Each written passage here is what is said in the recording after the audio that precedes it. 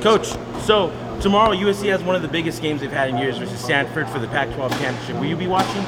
Yeah, it'll be a great game. Looking forward to watching the guys play. You're pulling for your boys, right? Oh yeah, I want those guys to have a great game. You have a prediction?